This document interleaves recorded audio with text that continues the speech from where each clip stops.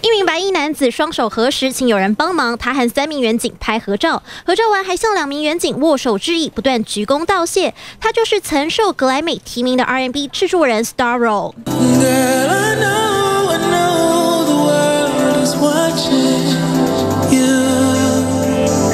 名沟口真实日前来台旅游，这个月十九号晚间却遗失钱包，被民众捡到报警，警方急中生智，利用社群媒体留言功能，一个小时就顺利联络上原本要上飞机的沟口真实，还帮忙付了计程车钱，顺利领回自己的皮夹。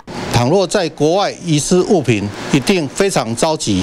由于皮夹内没有任何台湾的证件，同仁便急中生智，利用社群网站搜寻留言，果真顺利联络到失主，领回。日本天王制作人相当的感谢，还 po 文表示：“我钱包在前天掉落在街道上，一个小时后就被送到警察局，而且没有任何东西被拿走。警察局立刻找到我的 IG 私讯我，我身上没有钱，从机场搭计程车到警局，他们还在外面帮我付了钱。台湾，谢谢你，我永远不会忘记。”